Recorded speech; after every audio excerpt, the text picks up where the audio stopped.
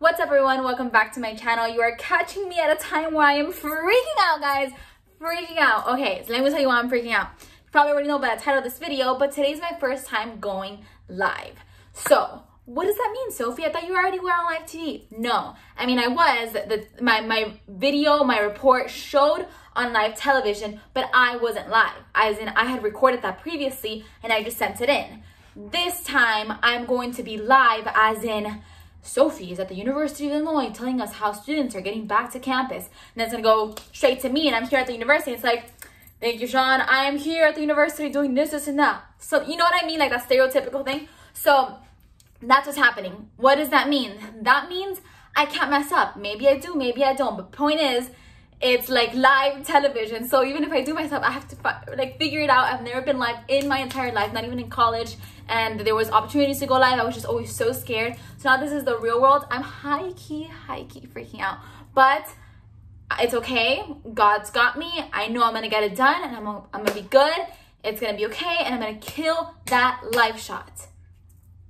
So, right, basically what I'm going to be doing today is I'm going to the University of Illinois and we're getting film of the students moving back in, hopefully talk to some parents, talk to some students, hopefully talk to an official about like what the university is doing to help students move back in and all that good stuff because as we all know, this is an unprecedented year because of COVID-19.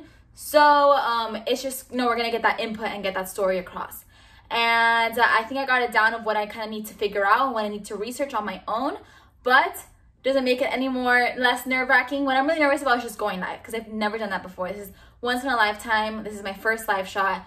I only get one first time, so breathe. I can do this. I can do this. FYI, I was wearing a different shirt and then as I started to record this, I realized that the pit stains were just not okay because I'm already so nervous. Everyone, whoa, that's not good.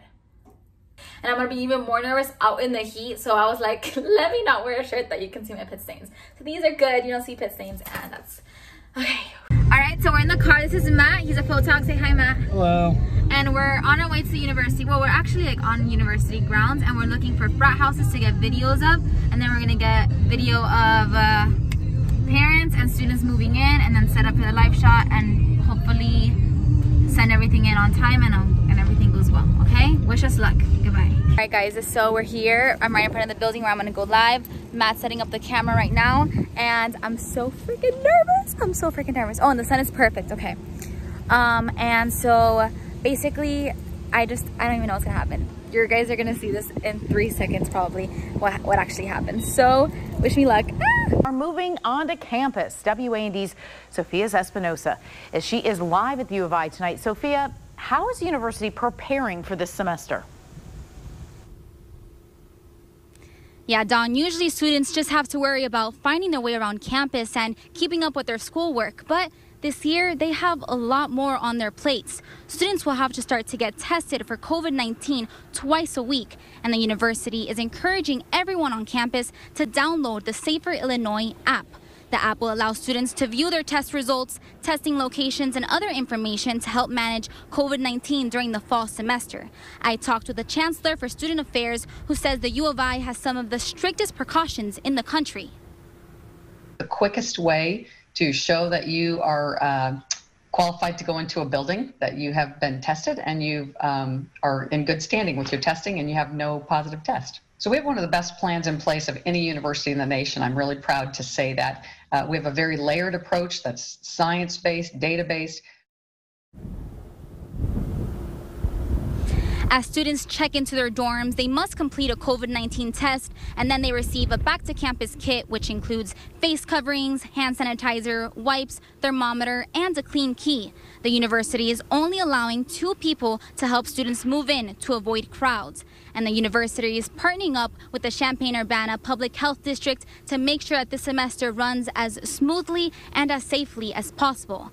Coming up tonight at 6, I speak to a parent and a student about how they feel starting college in the middle of a pandemic. For now, live in Champaign, I'm Sophia Espinosa, WAND News. I did it. I did the 5 p.m. and now we have about an hour to chill out and then I'm gonna do again, so, sort of similar, but not really, but it's the next live shot. Um, it's gonna be live as well and you guys just saw that one. So now I'm gonna do the 6 o'clock, which is coming up now.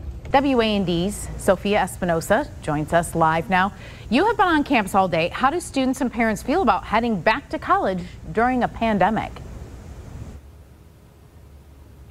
Dawn, I spoke to several students as they moved in who are so excited to start this new chapter in their lives, but it does come with some nerves.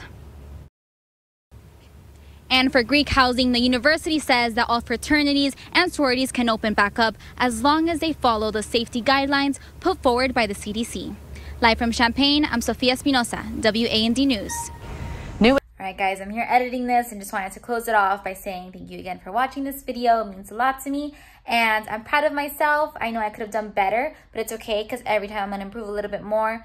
But for it being my first live shots, um, I think I did pretty dang well. So I'm happy and I'm proud of myself.